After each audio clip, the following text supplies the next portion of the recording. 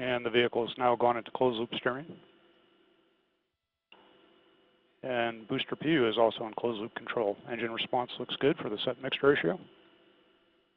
Current altitude is 45.8 miles in altitude, downrange distance 69 miles, velocity 5,413 miles per hour.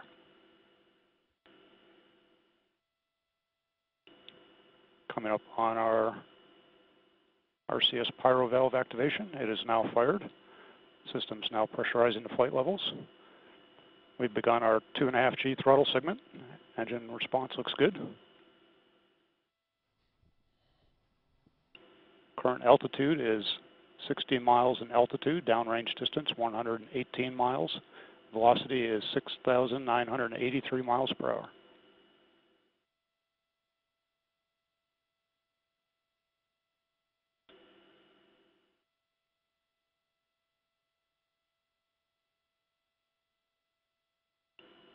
Coming up on our next mark event will be payload fairing jettison, followed by the CFR jettison.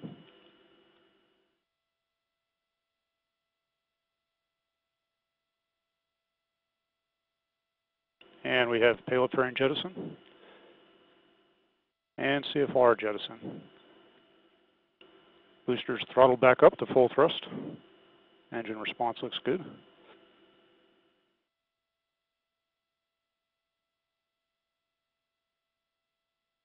Now accelerating at 4.7 Gs as we work our way to our 5G throttle segment.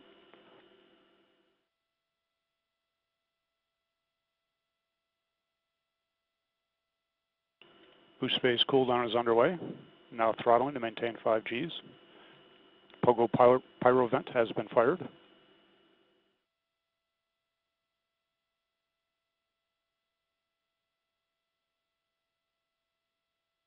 And begun throttling to 4.6 Gs in preparation for BECO. Boost phase cooldown is complete.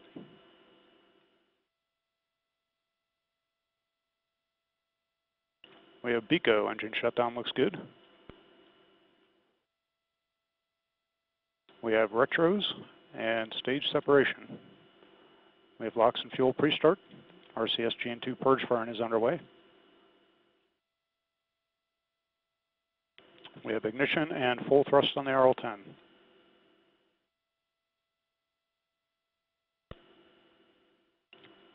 Centaur closed loop steering has been enabled. Small body rates associated with closed loop steering. Vehicle tank pressures are being ramped down as expected. Centaur PU has been commanded to oxidizer-rich fixed angles for the early part of this six minute and two second burn.